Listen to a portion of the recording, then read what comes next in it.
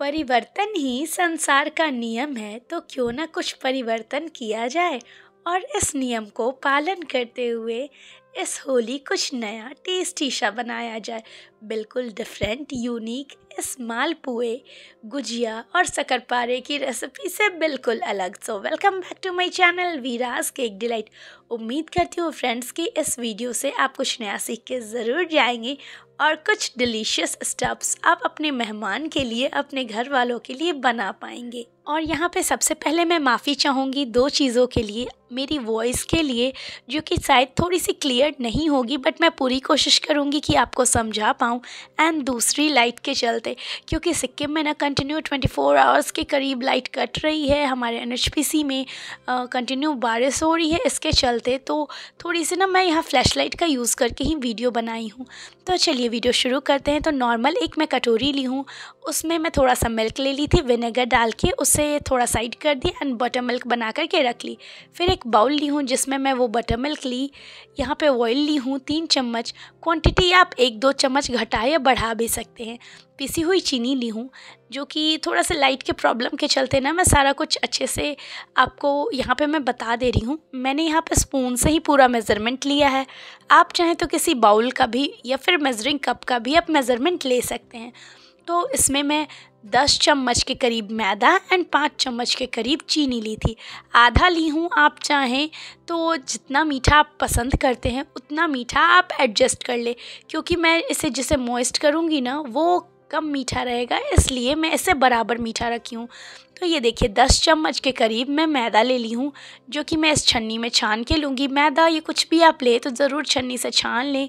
इससे कोई भी जो लम्ब्स होंगे ना, आपके बैटर में वो नहीं बनेगा। और हाँ ये मत सोचिएगा कि मैं केक बना रही हूँ।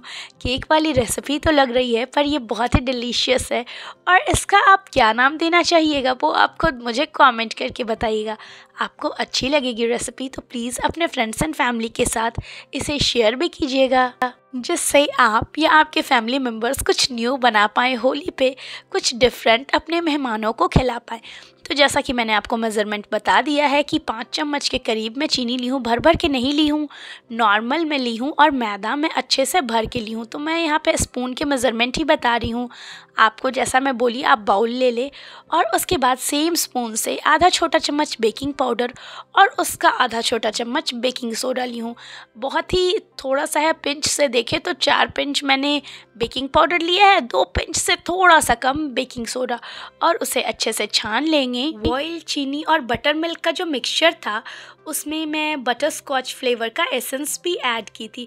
आप चाहें तो इमल्शन भी ऐड कर सकते हैं, इससे प्यारा सा कलर भी आ जाएगा। पर मेरे पास एसेंस था बटर स्कॉच का तो मैं वही ऐड कर ली। और फ्रेंड्स, पूरा वीडियो को ज़रूर देखिएगा, आपके लिए बहुत ही यूज़फुल वीडियो ये होगा। आप चाहें तो इसी क्वांटिटी को बढ़ा करके आप केक भी बना सकते हैं। उसके बाद दूध के हेल्प से। और हाँ फ्रेंड्स एक बात का और ध्यान रखें कि सारा कुछ आपको रूम टेम्परेचर का लेना है। कुछ भी चीज़ आप ठंडा यहाँ पे यूज़ नहीं करें या गर्म यूज़ नहीं करें। जैसा कि मैं बता रही हूँ कि मैंने रूम टेम्परेचर का मिल्क लिया है और उसके बाद मेरा ये बैटर रेडी हो गया ऑलमोस्ट तो फिर मैं यहाँ पर दो ड्रॉप के करीब लिक्विड फ़ूड कलर ऐड कर रही हूँ येलो वाला। जिससे ना कि ब्यूटीफुल सा कलर आ जाएगा और काफ़ी अच्छा लगेगा देखने में। कलर आप ऐड नहीं करना चाहते हैं तो एक पिंच हल्दी भी डाल सकते हैं। अगर आपके पास येलो कलर नहीं है तो या फिर आप प्लेन रखना चाहते हैं तो आप इस कलर को स्किप भी कर सकते हैं। इससे आपके टेस्ट में कोई फ़र्क नहीं पड़ेगा, बस देखने में थोड़ी सी ना ज़्यादा सुंदर लगेगी। फिर मैं यहाँ एक पैन ली हूँ, जिसे मैंने अच्छे से गर्म कर लिया। एक मिनट के करीब गैस पर चढ़ा के मैं गर्म की, उसमें थोड़ा सा बटर ली एंड अच्छे से ग्रीस कर लिया और उसके बाद ये जो बैटर मैं बनाई थी उसे फिर सेम गैस पे मैं चढ़ा दी हूँ, बिल्कुल लो फ्लेम पे और इसे ढक दी। एंड करीब 12 से 15 मिनट में ये मेरा जो केक कहिए पैन केक कहिए, जो भी आपको कहना हो कहिए, ये रेडी हो गया। ये देखिए टूथपिक बिल्कुल क्लीन है, काफ़ी ज़्यादा शाइनी ग्लिटरी ये केक वाला लुक जो है इसमें आया था और बहुत सॉफ्ट और मॉइस्ट बना था। और टेस्ट का तो क्या ही कहने तो चलिए अब इसके लिए क्रंची बनाते हैं, जो कि आप केक्स में भी यूज़ कर सकते हैं, लेकिन हम इसमें भी यूज़ करेंगे। तो यहाँ पे मैं नॉर्मल पैन ली हूँ, उसमें चीनी डाल ली। जितना भी आपको बनाना हो कैरमलाइज़ करना हो, उतना आप करें। उसके बाद चीनी को थोड़ा सा मैं अच्छे से स्प्रेड करने के बाद यहाँ इंडक्शन में चला दी। एंड एक पे ही रखी। अगर आप गैस पे भी बना रहे हैं तो लो फ्लेम पे ही रखें। फ्लेम को मीडियम या हाई नहीं करें। अदरवाइज़ जो चीनी है, वो कहीं कहीं से जल जाएगी और आपका ये जो कैरमल है, वो बिल्कुल कड़वा हो जाएगा। स्पेशली इस प्रोसेस में, कैरमलाइजेशन में इस बात का स्पेशली ध्यान रखा जाता है कि ये जो हमारी चीनी है, वो कहीं से जले नहीं और प्रॉपर वे में मेल्ट हो। प्रॉपर वे में मेल्ट होगी, तभी इसका टेस्ट जो है, वो परफेक्ट आएगा। जैसे कि हम लोग बादाम पट्टी बनाते हैं ना, बिल्कुल उसी तरीके से गुड़ वाली बनाते हैं या चीनी वाली तो ये जो मेल्टिंग प्रोसेस है ना प्रॉपर होनी चाहिए। और स्टार्टिंग में आप स्पून ना लगाएँ, जब मेल्ट होने लगे चीनी, तभी आप स्पून से इसे चलाएँ। हल्के हल्के हाथों से चलाना है, बहुत ज़्यादा नहीं, बस इतना चलाइए कि नीचे ये पकड़े नहीं और आपका जले नहीं। और आपको दो तीन हैंड यहाँ पर दिख रहे होंगे, वो इसलिए क्योंकि मैं जिन लोगों को भी केक सिखाती हूँ, वो लोग भी अवेलेबल थे, क्योंकि ये प्रलाइन की रेसिपी जो क्रंचीज होती है, उसकी रेसिपी मुझे उन्हें सिखानी थी। इस वजह से वो लोग मेरे साथ ही थे। तो इसलिए आपको बार बार डिफरेंट हैंड दिख रहे होंगे। उसके बाद जब ये अच्छे से मेल्ट हो गया तो मैं इसमें थोड़ा सा बटर ऐड कर दी। एंड यहाँ पे आपके पास आलमंड हो तो आलमंड का ही यूज़ करें। मैं अभी वैकेशन से आई हूँ एंड आलमंड्स जो मेरे पास ख़त्म हो गए थे, इसलिए मैं यहाँ पे काजू का यूज़ की हूँ। और अगर आप चाहें तो वॉलनट का भी ये क्रंची बना सकते हैं पीनट का भी बना सकते हैं बट सबसे अच्छा टेस्ट है वो आलमंड से आता है, पर मेरे पास अवेलेबल नहीं था।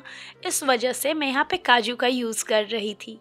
क्योंकि वॉलनट और आलमंड जो होते हैं ना, ज़्यादा दिन रखने से वो कीड़ा लग जाता है, इसलिए उसे जितना जल्दी आप यूज़ कर ले, उसका टेस्ट और फ्रेशनेस उतना ही जल्दी बरकरार रहेगा और उतना ही अच्छा लगेगा। ज़्यादा दिन होने पे टेस्ट ख़राब हो जाता है। उसके बाद मैं यहाँ पे बटर पेपर ली हूँ, उसके ऊपर इसे अच्छे से स्प्रेड कर ली, फिर फ्रीज़र में एक मिनट के करीब मैं रख दी, क्योंकि मुझे हड़बड़ी थी। आप चाहे तो आराम से पाँच दस मिनट रख सकते हैं। मैं एक मिनट में ही एक अच्छे से सेट हो गया, उसके बाद जो बेलन होता है, उसके मदद से से मैं इसे क्रश कर ली। और तब तक हमारा ये जो पैन में बना हुआ बैटर था, जिससे हमने केक के जैसा कुछ बनाया था, वो बिल्कुल रेडी है। और ये देखिए कितना फ्लफ़ी लग रहा है। पिज़्ज़ा भी इसकी तरह लग रहा होगा आपको देख करके ना। कलर भी कितना प्यारा आया है। एकदम क्रीम कलर का और देखिए नीचे से ये जला हुआ नहीं है। इससे ना क्रिस्पीनेस आई है और जो टेस्ट है ना वो सौंधा सौंधा बहुत अच्छा लगता है। छेना पोडा खाए होंगे अगर आप लोग उड़ीसा का तो वो भी नीचे से बिल्कुल इसी तरीके से रहता है। एंड टेस्ट में तो जो लाजवाब इसका फ्लेवर है फ्रेंड्स बहुत ही अमेजिंग लगेगा। तो इसे मैंने फॉर्क की हेल्प से अच्छे से प्रेक कर लिया है। आप चाहे तो नाइफ़ की हेल्प से भी कर सकते हैं, पर नाइफ़ की हेल्प से ना एक ही जगह पे काफ़ी ज़्यादा गैपिंग हो जाएगी। इसीलिए फॉर्क का यूज़ करना ज़्यादा अच्छा है। और यहाँ पे दूध, आप चाहे तो गरम या ठंडा कुछ भी ले सकते हैं, क्योंकि हमें इस दूध को गरम करना है और काम को आसान करने के लिए मैं यहाँ पे मिल्क मेड ऐड कर रही हूँ। अगर आपके पास मिल्क मेड नहीं है तो नॉर्मल जो मिल्क पाउडर होता है, उसे ले ले, गर्म पानी में हल्का घोल ले एंड थोड़ा सा येलो फ़ूड कलर ऐड कर ले। अगर वो भी नहीं है तो कस्टर्ड पाउडर भी आप ले सकते हैं। आधा छोटा चम्मच बहुत ही कम क्वांटिटी में आपको कस्टर्ड पाउडर लेना है और इलायची पाउडर भी आप उसमें डाल सकते हैं फ्लेवर्स के लिए। या फिर बटर स्कॉच का आप यूज़ कर रहे हैं तो बटर स्कॉच एसेंस ज़रूर डाल दें जिससे प्रॉपर फ्लेवर आ सके। मैंने बेस में तो बटर स्कॉच फ्लेवर दिया है, पर इसमें नहीं दे रही हूँ, क्योंकि बहुत ज़्यादा ना फ्लेवर एसेंस या एमल्शन ऐड करने से थोड़ा सा टेस्ट है ना वो केमिकल टाइप का फील होने लगेगा, जैसे आपने कोई केमिकल ऐड कर दिया है तो इसलिए मैं बहुत कम ही यूज़ करती हूँ, और ये मैं पोर कर दी इस केक पे, ये जो भी कहे पैनकेक पे, और इसको जब आप पोर करेंगे तो इस बात का ध्यान रखिएगा कि वो बिल्कुल ल्यूकवम होना चाहिए। ना बहुत ज़्यादा ठंडा, ना ही बहुत ज़्यादा गर्म, तभी ये प्रॉपर वे में आपका सोक कर पाएगा। उसके ऊपर फिर मैं यहाँ पे क्या की हूँ कि क्रीम जो नॉर्मल विपिंग क्रीम होता है, आप चाहें तो यहाँ पे चीज़ क्रीम का भी यूज़ कर सकते हैं, उससे भी टेस्ट बहुत अच्छा आएगा। पर मेरे पास थोड़ी सी विपिंग क्रीम बची हुई थी केक्स के ऑर्डर के बाद तो मैंने सोचा क्यों ना इस विपिंग क्रीम को यूज़ करके कोई रेसिपी बनाई जाए। तो बस जो बनाया, वो मैंने बना दिया और सोचा जब बना ही रही हूँ तो आपके साथ शेयर करना तो बनता है। और फिर साइड से हल्का सा पैलेट नाइफ से मैं स्मूथ कर दी और ये देखिए, जो लोग सीख रहे थे ना, उनका गलती से हाथ लग गया था ट्राईपॉड पे जिसके चलते पूरा आगे हो गया। खैर, कोई नहीं। फिर यहाँ पे लाइट की कमी के चलते पाइपिंग बैग कौन चेंज करने जाता? तो मैंने नॉर्मली जो बॉटल होता है हर्शी का सिरप यहाँ पे क्रश का भी आप यूज़ कर सकते हैं। बटर स्कॉच का क्रश जो होता है या फिर न्यूट्रल जल से भी आप डिज़ाइन दे सकते हैं, फ्लेवर्स ऐड करके। तो यहाँ नॉर्मली मैं हर्शी का जो सिरप आता है, बॉटल के थ्रू ही उसे यूज़ कर रही हूँ। इतनी मेहनत मैं बचा रही हूँ कि पाइपिंग बैग में फ़िल करूँगी एंड उससे थोड़ा फ़ाइन बनाऊँगी। तो मैंने सोचा, चलो, घर के लिए ही है। आप लोग को बता रही हूँ, आप लोग समझ जाओगे, आप लोग ऐसे ही क्रिएटिव हो, अपने से थोड़ा दिमाग लगा करके और भी सुंदर बना पाओगे। तो मैं अपना मेहनत बचाने के चलते इस तरीके से बॉटल में करके कर दी, पर फिर भी देखिए लुक बहुत ही प्यारा आया है। ऐसा नहीं लगेगा कि डायरेक्ट बॉटल से किया हुआ है, वो पाइपिंग बैग वाली ही फील आएगी। और उसके बाद टूथपिक ली हूँ। और हर बार जब भी आप ये वाली डिज़ाइन बनाएँ, टूथपिक को क्लीन करें, जिससे आपका क्लियर ये डिज़ाइन बन के आएगा। अगर आप टूथपिक क्लीन नहीं करेंगे ना फ्रेंड्स तो ये जो पैटर्न बन रही है, ये बिल्कुल सिमेट्री नहीं आएगी इसमें और बहुत ही गड़बड़ सा किचबिजा सा दिखेगा। तो जब भी आप बनाएँ तो टूथपिक को ज़रूर क्लीन करें एंड उसके बाद इस तरीके से डिज़ाइन बनाएँ। और देखिए सिंपल तरीके से कैरमल वाला मैंने यहाँ पे सिर्फ़ यूज़ किया है बटर स्कॉच का आप क्रश ले करके उसे ग्राइंड करके पाइपिंग बैग में फिल करके भी यूज़ कर सकते हैं। और उसे इस तरीके से डिज़ाइन दे दी और फिर नाइफ़ से मैं यहाँ पे कट लगा दूँगी। अभी तो ताज़ा ही है, मैं इसे सेट कर दे फ्रिज में, ठंडा करके रख दे एंड जब भी आपके मेहमान आए, बस निकाल करके दे दे ठंडा ठंडा बहुत ही मज़ा आएगा रस मलाई से भी ज़्यादा स्वादिष्ट ये लगता है। मालपुए से कम मेहनत लगता है। गुजिया वाली झमेला ही ख़त्म हो जाएगा। और बहुत ही न्यू यूनिक और ये रेसिपी आपके मेहमान खाएँगे ना तो ज़रूर पूछेंगे कि कैसे बनाया। उसके बाद इसे कट कर दी, जो क्रंचीज़ बनाई थी, उसे लास्ट में सर्व करते टाइम आप इसके ऊपर डालें। पहले से नहीं डालें अदरवाइज़ वो मेल्ट होने लगेगा, क्योंकि चीनी है तो जैसे ही वो दूध या पानी के कांटेक्ट में आएगा तो वो लूज़ होने लगेगा। तो उसका जो क्रंच है, वो लूज़ हो जाएगा।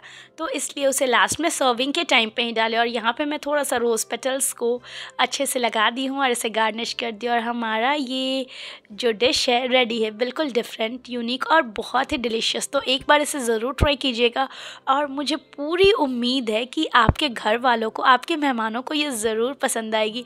मेरे हस्बैंड और बच्चे तो बस दस मिनट के अंदर ये पूरा फिनिश कर गए। फिर ऊपर से देखिए, मैंने थोड़े से क्रंचीज़ को ऐड कर दिया और हमारी ये डिश रेडी है। देखने में जितना ही खूबसूरत, खाने में उतना ही स्वादिष्ट। पसंद आई हो वीडियो, ये रेसिपी तो लाइक ज़रूर कर दीजिएगा। चैनल पर न्यू है तो सब्सक्राइब करके जाइएगा। डेली न्यू केक डिज़ाइन देखने के लिए, फैमिली ब्लॉग्स देखने के लिए, साथ ही इंटरेस्टिंग सी इजी गोइंग रेसिपीज़ के लिए मिलती हूँ। अगले वीडियो में till then take care and bye thank you so much for watching.